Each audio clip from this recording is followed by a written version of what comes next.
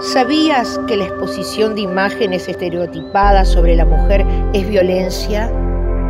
La ley 26485 define la violencia simbólica contra la mujer como la que a través de patrones estereotipados transmite y reproduce dominación, desigualdad y discriminación en las relaciones sociales. No te calles, la violencia de género mata.